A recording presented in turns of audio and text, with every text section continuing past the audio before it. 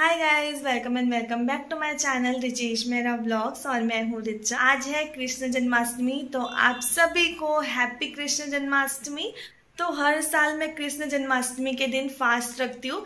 और मैं आप लोगों को बताऊँ कि जब मैं छोटी थी ना तो आसपास की जो होते हैं ना कि मोहल्ले में जो दीदी होती है तो उन लोग कृष्ण जन्माष्टमी का फास्ट रखते थे। पहले भगवान की इतनी पूजा पाठ तो बच्चे नहीं करते तो हमें उतना तो समझ नहीं आता था। बट हमें ये समझ आता था कि अगर हम फास्ट रखेंगे और फिर रात के बारह बजे के बाद हम खाना खाएँगे, उनको देख के ही हम फास्ट करते थे। फिर तब से मैं कृष्ण कृष्ण जन्माष्टमी जी का फास्ट हर साल करती हूँ। तो बस जस्ट मैं नहा के आई और मैंने पूजा किया है। तो मैंने सोचा कि आप लोगों को भी कृष्ण जन्माष्टमी की बधाइयाँ दे दूँ और आज मैंने पहना हुआ है रेड कलर का बहुत ही प्यारा सा सूट जो कि मैं आप लोगों को बहुत अच्छे से दिखाती हूँ। तो गाइज़ ये है मेरा रेड कलर का सूट जो कि आप देख सकते हो, बहुत ही सुंदर सा है। आप देख सकते हो कि रेड कलर का सूट कितना प्यारा सा है। और ये वाला कुर्ता भी मेरे हस्बैंड ही मेरे लिए लेके आए थे, उज्जैन से। अभी मैं रेडी भी नहीं हुई हूँ, क्योंकि पूजा करना था तो सबसे पहले तो जाके अब मैं चाय पीऊँगी फास्ट है तो सुबह से कुछ खा पी भी नहीं सकते थे।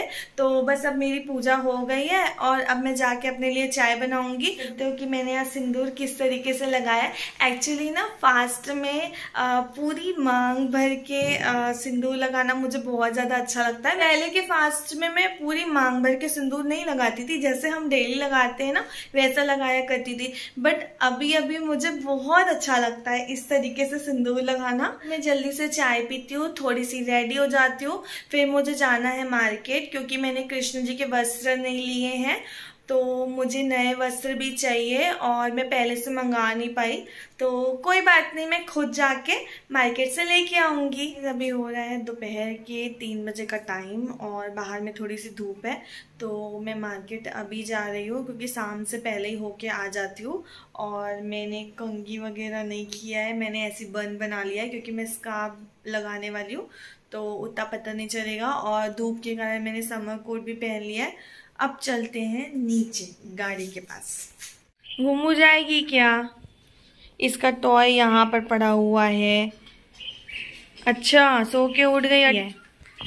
देखो थोड़ा थोड़ा धूप आ गया है। ये है मेरी गाड़ी।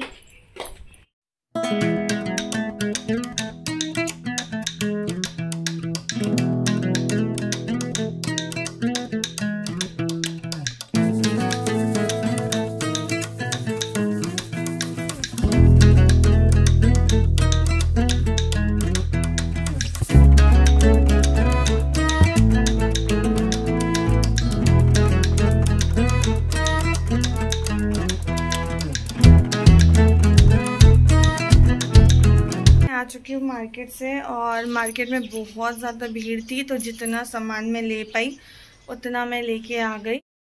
ये सामान अब जाते हैं ऊपर।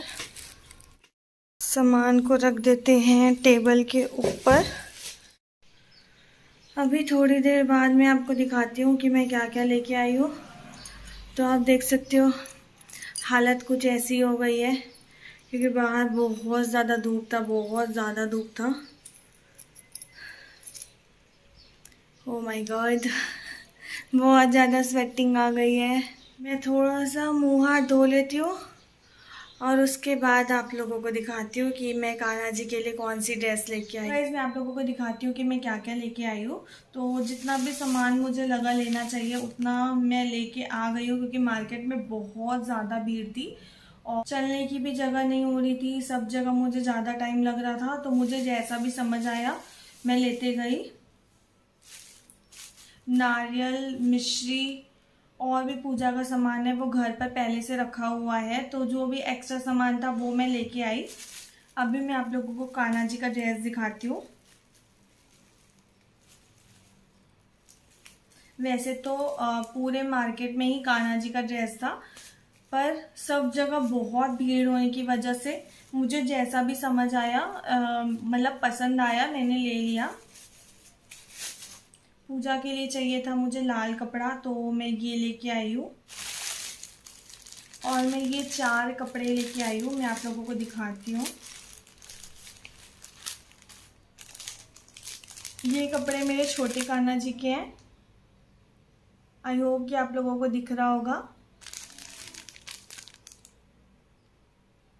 तो मैं ये दो लेके आई हूँ, एक ब्लू कलर का, एक ऑरेंज कलर का। ये मेरे बड़े कान्हा जी के कपड़े हैं। जो कि है एक पिंक कलर का। और एक ही है लाइट पिंक कलर का।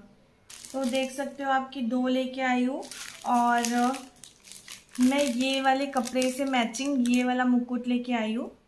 लोगों को बता दूँ, एक कान्हा जी जो मेरे पास पहले से हैं तो उनका सामान मेरे पास पहले से ही है, क्योंकि वो हमेशा से ही मेरे पास रहते हैं। और जो अभी जिनके लिए मैं ये कपड़े लेके आई हूँ वो कान्हा जी मेरी मम्मी मथुरा वृंदावन दिल्ली जनवरी पे गए हुए थे तो मेरे लिए एक कान्हा जी लेके आए लड्डू गोपाल। लड्डू गोपाल जी की ड्रेस कैसी लगी आप लोग प्लीज़ मुझे कमेंट करके ज़रूर बताना। यहाँ पर मैंने शाम की दिया बत्ती कर ली है। तो गाइज़ अभी हो रहा है रात के दस बजे का टाइम और सिर्फ़ दो घंटे बचे हुए हैं कृष्ण जी का जन्म होने के लिए। धीरे धीरे करके एनर्जी पूरी डाउन होती जा रही है। बारह बजे कृष्ण जी का जन्म होगा, उनको नए कपड़े पहनाएँगे, फिर उनको भोग लगाएँगे, फिर उनकी आरती होगी। तो इस तरीके से रात के बारह बजे के बाद करेंगे हम पूजा। और मैं रात के बारह बजे के बाद खाना खा लेती हूँ पूजा करने के बाद, क्योंकि मैं हर साल ऐसा ही करती हूँ। तो मुझे नहीं पता कि बहुत सारे लोग खाना खाते हैं कि नहीं खाते हैं प्लीज़ मुझे कमेंट करके ज़रूर बताना कि आप लोग 12 बजे के बाद खाना खाते हो या नहीं खाते। मैं तो पूजा करने के बाद खा लेती हूँ, क्योंकि दिन भर का ही फास्ट हो जाता है। मेरे बोलने के तरीके से भी आपको लग रहा होगा कि मेरी एनर्जी कितनी ज़्यादा डाउन हो गई है। क्योंकि दो फास्ट एक साथ हो जाते हैं, एक दिन के गैप में। एक होता है हर षष्ठी का कमच्छट का, जिसका व्लॉग मैंने बनाया था, और दूसरा होता है हमारा जन्माष्टमी का। ये और ज़्यादा एनर्जी डाउन हो जाती है, ऐसा मुझे लगता है। बट जो अच्छे से रह लेते हैं, वो तो रह ही लेते हैं फास्ट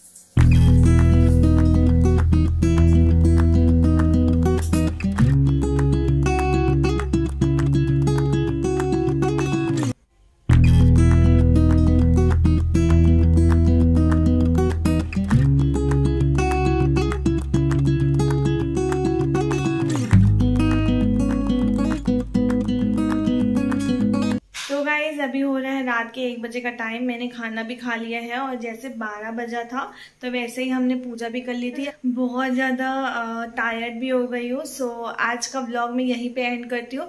अगर आप लोगों को मेरा ब्लॉग थोड़ा सा भी अच्छा लगे तो प्लीज़ मेरे चैनल को सब्सक्राइब ज़रूर कर दीजिएगा। Please do like comment share subscribe to my YouTube channel which is Richesh मेरा ब्लॉग्स बाय गाइज़